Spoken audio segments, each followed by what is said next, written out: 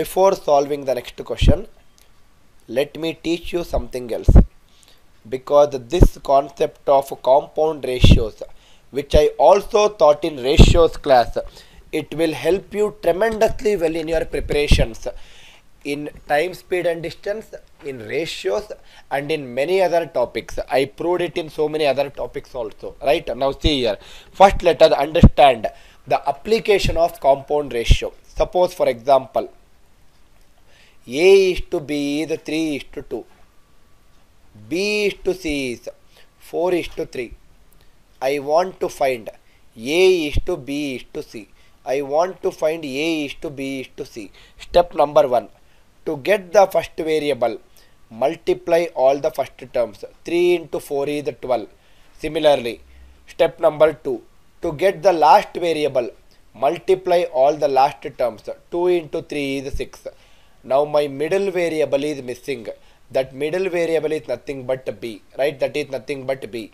This is nothing but a is to b. Right? This is a is to b compare with original a is to b in original a is to b a value is 3 here a value is 12 3 is becoming 12 what is the multiplying factor 3 into 4 is only 12 2 also multiply by the same multiplying factor 4 2 into 4 is 8 first answer is 12 is to 8 is to 6 which can be further simplified one more example for your understanding suppose for example a is to B is 2 is to 3. B is to C is 2 is to 5. C is to D is C is to D is 4 is to 7. I want to find A is to B is to C is to D. Same logic without any difference in my first example. I will use the same application. To find the first variable A, multiply all the first terms. 2 into 2 into 4. 2 into 2 is 4. 4 into 4 is 16. To find the last variable d, multiply all the last terms. 3 into 5 is 15. 15 into 7 is 105. Now the middle two variables b and c are missing. Right? b and c are missing. Can I say that?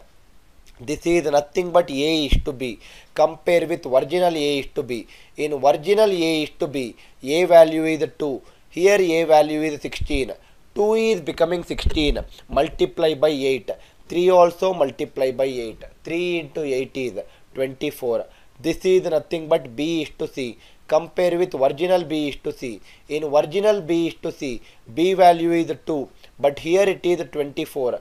2 is becoming 24. Multiply by 12. 5 also multiply by 12. 5 into 60, 5 into 12 is 60. Further simplify if you can simplify it. I hope the idea is clear, sir. This is the application or if, sorry, this is the concept behind compound ratio. Where can we use this application in our problem solving? That is what we will discuss in the next two minutes of time. Kindly comment in the live chat if the application is clear. Sorry, if the concept is clear, sir we have still not moved on, moved on to application part.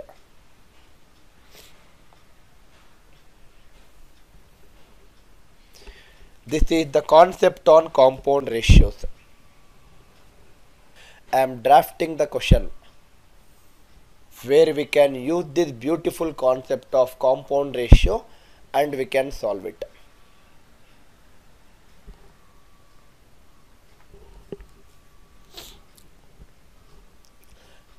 Listen carefully sir. First statement says first statement says a car covers a distance of 4 540 kilometers in 9 hours. That means total distance covered by the car is 540 kilometers. Time taken is 9 hours. So speed of car is nothing but 540 divided by 9 it is 60 kilometers per hour right? Speed of car is 60 kilometers per hour. That is the first statement. Second statement says speed of train is double the speed of car. Speed of train is double the speed of car. That means speed of train is nothing but 2 times of speed of car. From this i can write speed of train divided by speed of car is 2 divided by 1 which is nothing but 2 is to 1 right this is nothing but 2 is to 1 right next read the next statement two third of speed of a train is equal to speed of a bike. Two third of two third of speed of a train is equal to speed of a bike. Can I again write this like this, sir? Speed of train is to speed of bus is nothing but this will become reverse. It becomes 3 by 2 which is nothing but 3 is to 2 right? Which is nothing but 3 is to 2 now listen carefully sir. Can i write it like this? Speed of train is to speed of bus. If i reverse this ratio if i reverse this ratio speed of car is to speed of train. It is 1 is to 2 speed of train is to speed of bus. It is nothing but 3 is to 2 that means can i simplify by using compound ratio? Speed of train is to speed of speed of car is to speed of train is to speed of bus. To get the first variable multiply all the first terms. 1 into 3 is 3 to get the last variable multiply all the last terms. 2 into 2 is 4 middle variable is missing. This is nothing but. Compare with original original ratio of first and second. Speed of train is to speed of bus. Originally it is 3 here originally it is 1 here it is 3 1 is becoming 3 multiply by 3 2 also multiply by 3 2 into 3 is 6 right? 2 into 3 is 6 but we just now calculated that speed of car is not what is that? 3 kilometers per hour according to ratio. But according to question it is 60 kilometers per hour. 3 is becoming 60 multiply by 20 6 also multiply by 20 120 4 also multiply by 20 it is 80 we got the all the distances right? All the speeds in fact. What is the question sir? Your question is how much distance will the bike cover in 5 hours? How much distance will the bike cover in 5 hours? Speed of bike is nothing but 80 kilometers per hour the meaning of 80 kilometers per hour is in one hour he will cover 80 kilometers. In one hour it is 80 kilometers. To cover in 5 hours he will cover 80 into 5 400 kilometers should be the answer for this question. A very very beautiful application of compound ratios can be used to simplify our problem to a very easy manner. Now this is one of the method which i solved it you need not use this method also in fact in this question. Then why did you use it sir? I used it to show that it can be applied by using compound ratio. But i did not say that you should use that method itself. You decide which is the best method for you right? Ultimately you are the person who will face the battle. You decide which is the best method for you. Now it says that a car covers a distance of 540 kilometers in 9 hours. So speed of a car is nothing but 60 kilometers per hour. Right speed of car is nothing but 60 kilometers per hour. Second statement is speed of a train is double the speed of a car. That means the speed of a train is 2 times of 60 which is 120 kilometers per hour. The same 120 is what i got here also. Right same 120 next is two third the speed of train two third two third the speed of a train. Speed of train is 120 is equal to speed of a bike. Speed of a bike is it is nothing but 40 into 2 80 kilometers per hour. In fact you will get this very very straightforward in this question. I just used compound ratio application for you to understand how you can apply it. Because one of the very very important concept is nothing but compound ratio which we have applied in multiple topics to simplify our problem to a greater extent. In fact, in time, speed and distance also, when we discuss linear races, we will again apply this beautiful concept of compound ratio to get our answers in a very very easy format.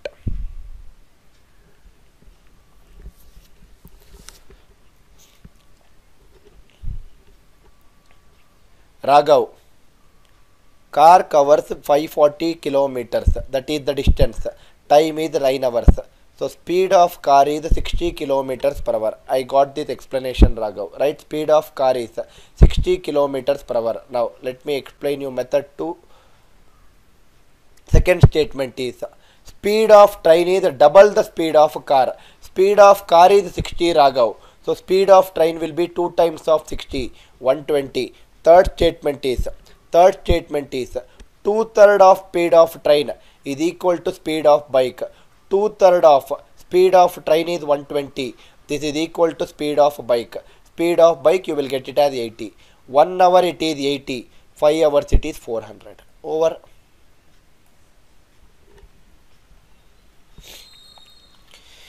Either apply method 1 or apply method 2 but do not apply your methodology or textbook methodology of problem solving by using x and y.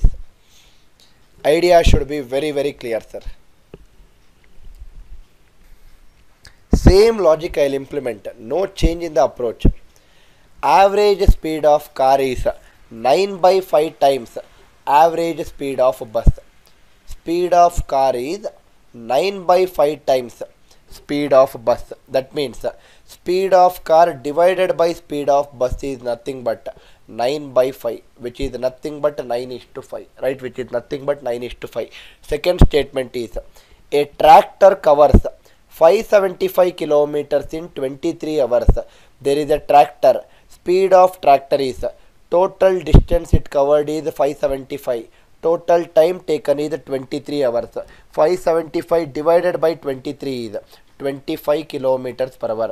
Speed of tractor is known as 25 kilometers per hour. How much distance will the car cover in 4 hours? How much distance will the car cover in 4 hours?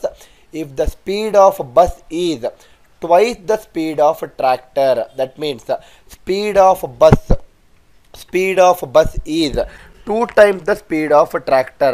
They are saying that speed of tractor sorry speed of bus is two times the speed of tractor. Speed of tractor is 25 so speed of bus will be 2 times of 25 which is 50 according to ratio it is 5 according to the question it is 50 5 is becoming 50 multiply by 10 9 also multiply by 10 9 into 10 is 90 that means the speed of car is 90 kilometers per hour. How much distance will car cover in 4 hours? In 1 hour it will cover 90 in 4 hours it will cover 4 into 90 360 kilometers should be the answer very easy if you use this methodology sir. 360 kilometers is the answer. In fact you can also apply compound ratio application to solve this. See sir my role is to teach you multiple directions or multiple methods. You pick up the direction which you are comfortable. I will never say use method 1 or method 2 i will say these are the two methods which are beautiful. You pick up the method. Speed of car is 9 by 5 times the speed of bus speed of car is to speed of bus is 9 is to 5 this is the first statement tractor covers 575 kilometers in 23 hours. Speed of a tractor is nothing but 575 divided by 23 which is nothing but 25 kilometers per hour. Right? This is my second statement. Speed of how much distance will car cover in 4 hours? If speed of bus is twice the speed of a tractor. Now see here. In my previous case i wrote, wrote like this. Speed of bus is twice the speed of a tractor. So it is 50 i wrote like this. Instead of doing like this speed of bus is twice the speed of a tractor. Speed of bus is to speed of tractor is 2 is to 1 apply compound ratio. However the way you want to do it you will get the same answer. As long as your calculation is right. That means speed of car is to speed of bus is to speed of tractor first variable is first multiples. 9 into 2 is 18 last variable is last value multiply. 5 into 1 is 5 middle is missing. This is first and second. Compare with original first and second. Here it is 9 here it is 18 multiply by 2 5 also multiply by 2 5 into 2 is 10 according to the ratio speed of a tractor is 5 kilometers per hour. Question says it is 25 kilometers per hour. 5 is becoming 25 multiply by 5 10 also multiply by 5 18 also multiply by 5 these are the values which you got in your previous method also. No change in approach sir. Whichever method you want you use it. A beautiful application is the application of compound ratios and i'm telling you damn good you can solve the questions if you know this concept. One hour it is 90 kilometers in speed of car. In one hour 90 in four hours it is 360 both will definitely give you the same value the same answer as long as you are taken you are taking care of your calculations part